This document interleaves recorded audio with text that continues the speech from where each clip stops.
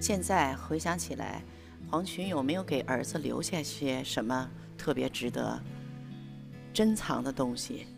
他觉得他工作了一辈子啊，有很多话要跟儿子说，所以的话，他就写了一封信，我就把那个信带来了。我给大家读其中的几段。海志，你好，爸爸很想你，跟爸爸妈妈视频诉说就是一个有效的渠道，我们永远是你的倾诉对象、发泄对象，我们真的很爱你。